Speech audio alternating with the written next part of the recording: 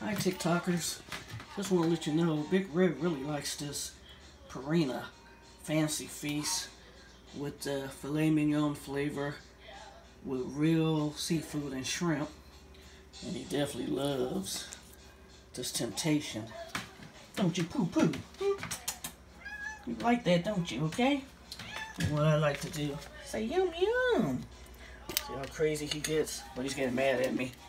Okay, I already put one of his little vitamins right here on his food. Shouldn't really give. I kind of alternate with dry cat food and wet cat food the following day. Him being a male cat. I remember my first cat, Fluffy. He loved dry cat food, but for some reason, it clogged him up. So unfortunately, that was back in the 80s, he had to have some kind of a surgery. So really male cats shouldn't have like dry cat food. They need to have water, you know, a combination. Just want to make sure this don't happen to my little poo-poo. You ready, boy?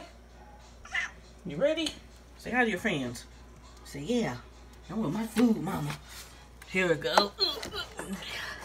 I like this little thing. I'm trying to hook it up to the...